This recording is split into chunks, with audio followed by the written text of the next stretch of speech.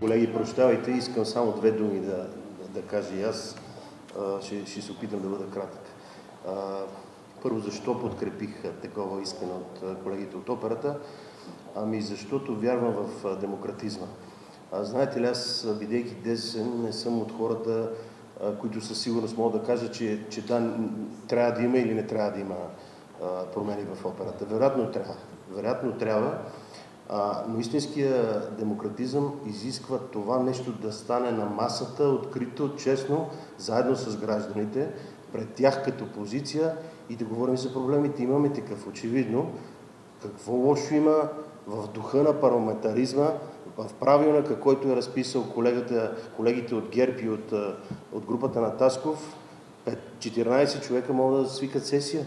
Вижте масата на общинската администрация. Извинявайте, къде е кмета, къде е заместник кмета по културата.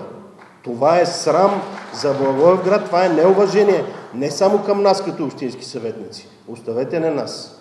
Това е към гражданите, към тези хора, чието достоинство се потъпква. Това е срам за Благоевград. Дълбоко възмутен съм поради факта, че няма дискусия. Тези хора заслужават поне един час честна, открита дискусия, да извадиме проблемите. Има ли такива, няма ли, можем ли да ги решим или не можем.